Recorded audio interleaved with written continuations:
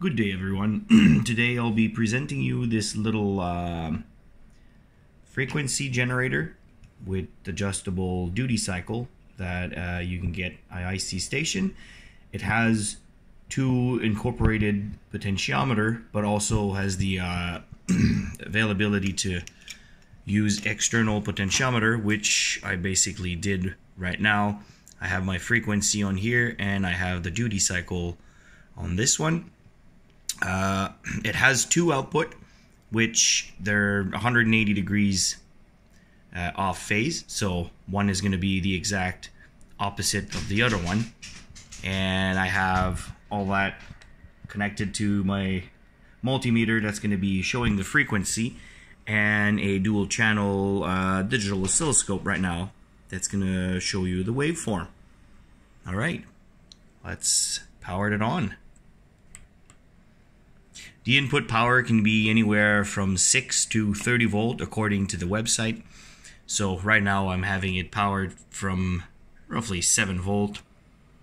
And you can see here the 50 first digit represent the duty cycle and this actually represent the um, frequency.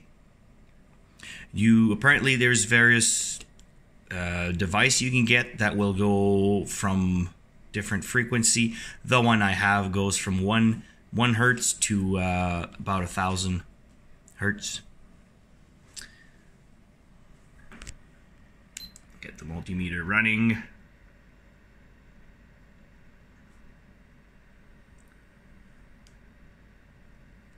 There we go. And here's the waveform.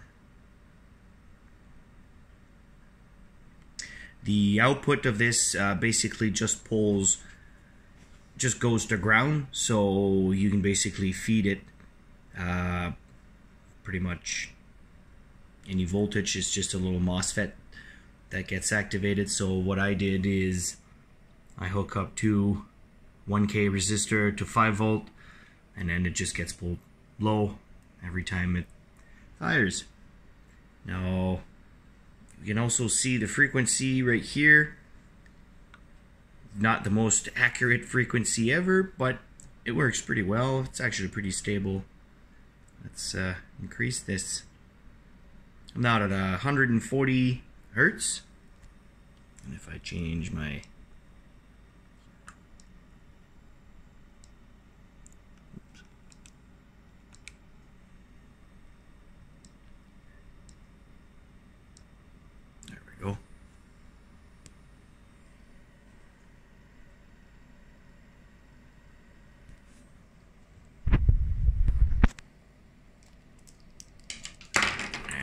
You can adjust the duty cycle, which is exactly what I'm going to do. It's a bit hard to do it one-handed.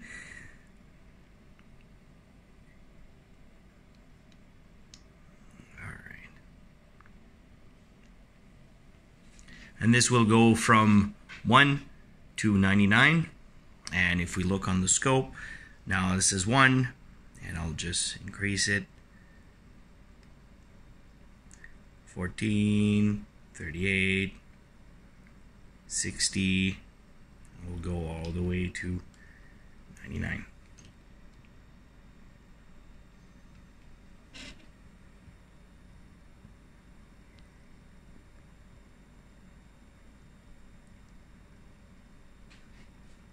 All right, back to 50. And the frequency will simply go up. Now, of course, if you want to use this into uh, more precise device, you'd probably, I would suggest you to use multi-turn potentiometer. The value of the potentiometers don't really matter because all it is is it takes the positive and the negative, so the 5 volt, and then it just creates a voltage divider for the uh, microcontroller in there. So response is pretty quick, but then again, multi a multi-turn would get you way more accuracy and precision on the uh, on the setup of the frequency there. Well, that's pretty much it. There's not much to show beside uh, some little waveform here. So Thanks again, IC Station, for sending me this, and I'll see you next time.